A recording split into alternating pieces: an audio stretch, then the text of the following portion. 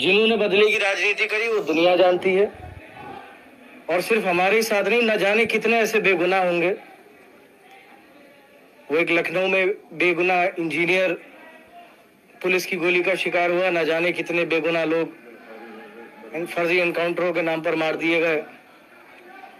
नौजवान नौकरी के लिए अपने आरक्षण मांगने गए तो उन्हें लाठियों से पीट कर भगाया गया।